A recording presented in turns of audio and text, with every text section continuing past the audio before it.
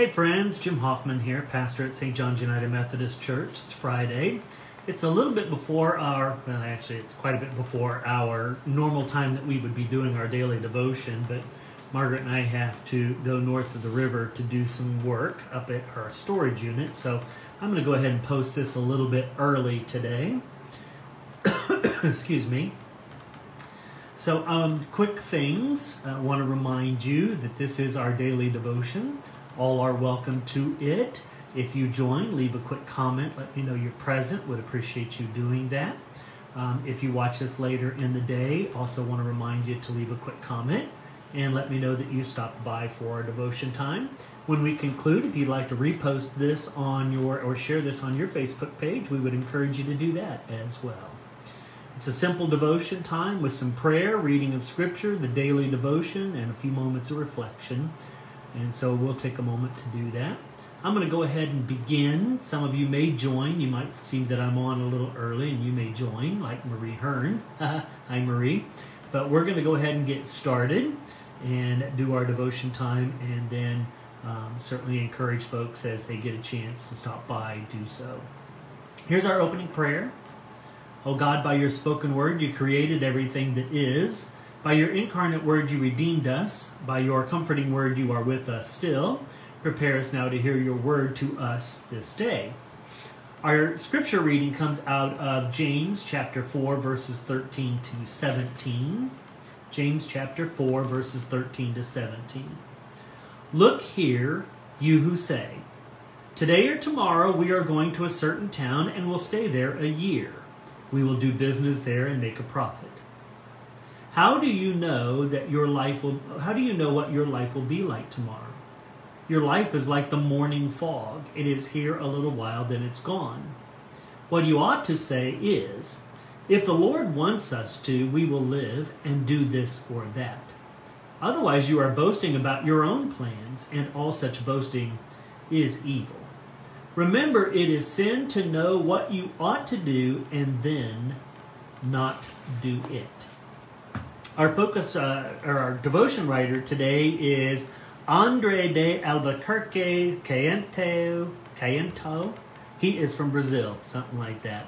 Um, so Spanish was not my first language, as you all well know. So his uh, focus verse is Philippians chapter 4, verse 6, which says, Do not be anxious about anything, but in every situation, by prayer and petition, with thanksgiving, present your request to God. And here is the devotion. Long before our children were born, my wife and I started to make plans for their lives. These expectations, hopes, and fears seem to be a big part of parenting. We have wondered will our children be good students and professionals?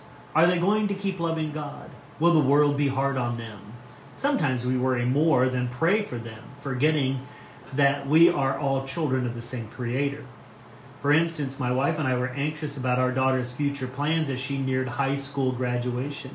We envisioned her going to college or doing a short international exchange or working for a year before going back for more schooling. But then COVID 19 spread around the world and our plans fell apart. Going to college was not an option, and neither was traveling. We turned to God, praying and reading scripture together. The uncertainty of the pandemic has forced us to look to God and remember that the Almighty love, Almighty's love never fails. We find comfort in God's words. As the heavens are higher than the earth, so are my ways higher than your ways, and my thoughts than your thoughts. Our God is all powerful. So the thought for the day is I will put my plans in God's hands.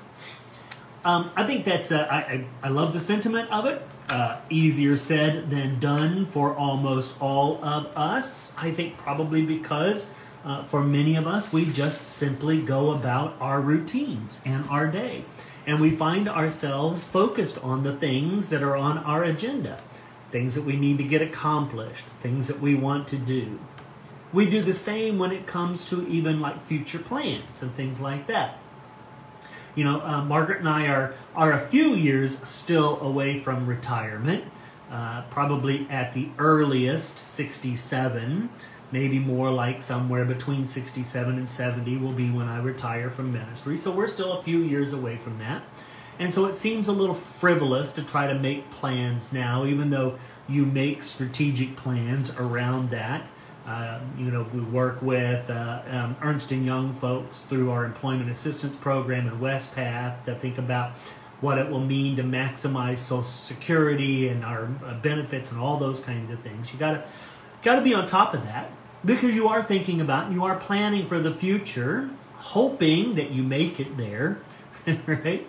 Hoping that God extends my life that long, that my body doesn't give out in some way, and I don't succumb to some kind of disease, or neither does Margaret in the next, you know, five or six years or so that we still have, and that we'll get to enjoy retirement and we'll get to live, you know, 20 or so more years or, or more and be able to enjoy a good part of that.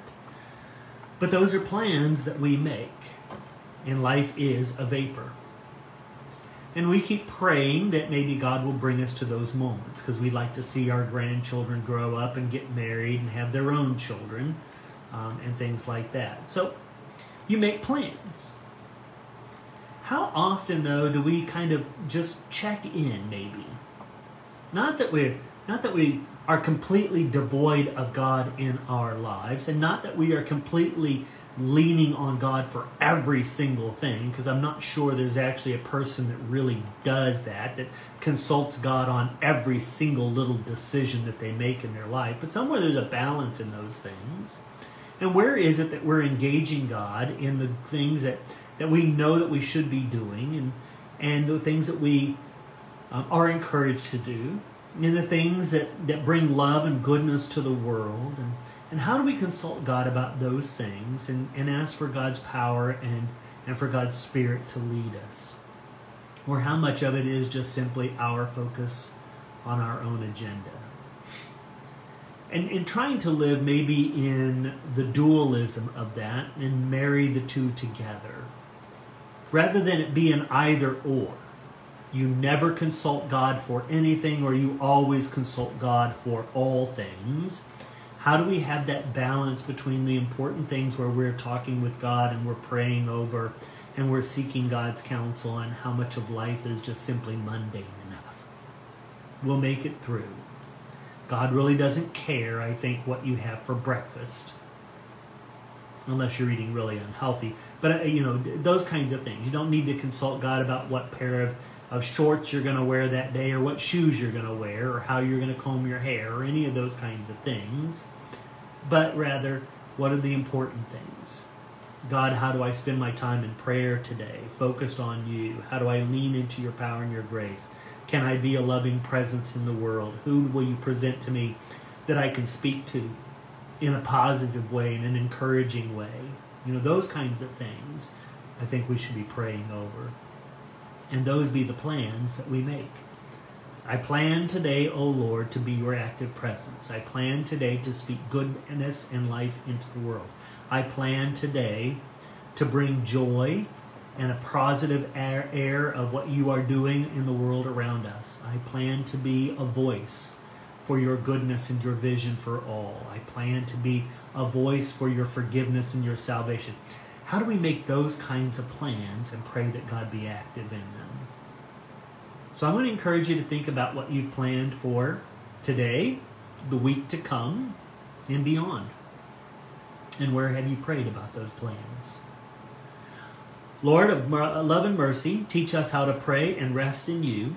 Give us our daily bread and help us not to be anxious for the things of the world, but rather to be centered in your love and your grace. In Christ we pray. Amen. Well, thanks, friends, for being here today. Appreciate all of you. Hi, Marie, again. Glad you were watching today. Hello, Linda. Glad you came a little early today as well. For those of you that watch this at the normal time or maybe later on, again, don't forget, leave a quick comment. Let me know that you were present. Would appreciate you doing that. I hope you enjoy the rest of your beautiful Friday. God's rich grace and peace be upon you. And I'll be with you again tomorrow for our devotion time. Thanks, friends.